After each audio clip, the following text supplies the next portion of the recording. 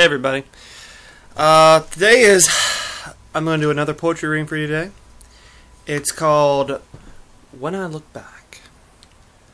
When I look back on the dreams I left behind, buried there in all my thoughts is you I always find.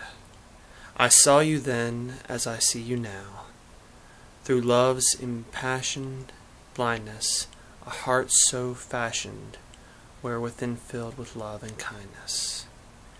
How often has my heart declared with anguish, for my words are few, that the wind shall blow a little longer to keep me here with you.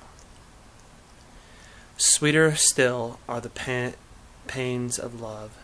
The bonds of love grow stronger, even after the moonlight has gone asleep.